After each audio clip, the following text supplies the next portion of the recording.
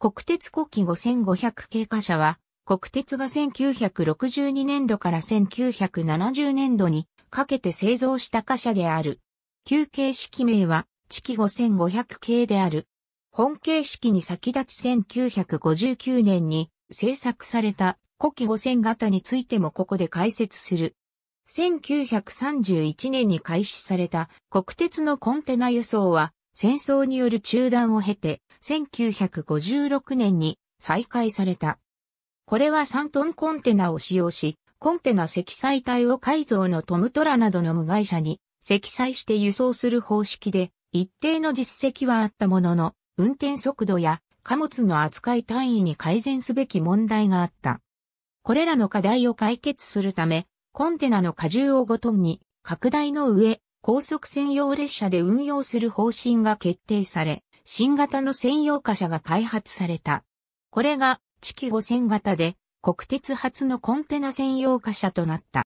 1959年11月から、コンテナ専用列車、宝号として、汐留梅田間で運用を開始した。この列車が好評であったことから、各地にコンテナ扱いの列車を拡大するために構造を一部変更して1962年から製作された車両が地期5500系である。両形式は1965年の称号、規定改正で古希5000系、古希5500型と解消され、古希5000型は後に改造を受け、古希5500型に編入された。1970年までに2形式合計3146両が製造され、各地で運用された。地期5000系古希5000系、宝号などの専用列車に用いるコンテナ車として製造された形式である。編成単位で運用するため手ブレーキは留置専用とされ、デッキや手すりはなく、拠点間直行輸送に適用した仕様である。最高速度は時速 85km である。重量を設けず、魚腹型の側枠で荷重を負担する台枠の基本構造はその後のコンテナ車に踏襲された。外部塗色は赤3号である。地期5500系古希5500系、コンテナ扱い列車の運用拡大に伴い、途中駅での連結、切り離しが発生することとなった。これらの作業を容易に行えるよう、古希5000系の車端部を延長して、デッキと手すりを設け、車上で手ブレーキを扱えるように改良した形式である。最高速度は時速 85km、外部塗色は赤3号である。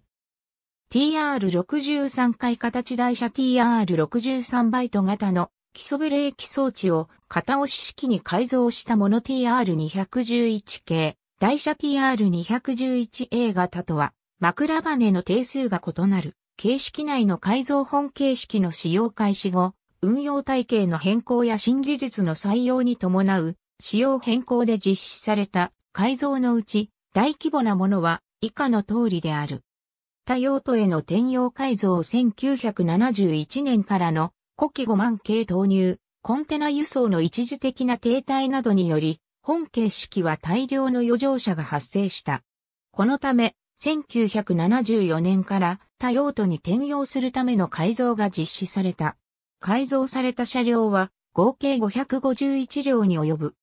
時速 95km 列車への対応改造1985年年3月ダイヤ改正で時速 95km 系コンテナ列車を増発するため必要な車両は本形式の改造で充当した。また JR 移行直後の貨物輸送が好調に推移したことから新系列車両投入までの過渡的な措置として同様の対応を実施している。古希6万系古希6万40古希5500計4万5500番台、古希4万5647事業用品輸送に使用されていた古希5500系、古希2万8177本形式は、幹線の拠点間輸送はもとより、入線制限を受ける線区が少なく後半に運用できることから、支線での運用にも広く使用された。1987年4月の国鉄分割民営化に際しては、2420両が日本貨物鉄道に継承された。しかしながら、輸送規模の小さい線区ではトラックによる代行や貨物列車そのものの廃止が進み、幹線では本形式の最高速度が時速 85km にとどまること、積載効率に劣ることなどから JR 移行後は国旗100系の投入によって急速に淘汰が進んだ。営業運転での使用が終了しつつあった近年においては一部の車両が車両基地周辺での配給物資輸送に用いられるのみとなっていた。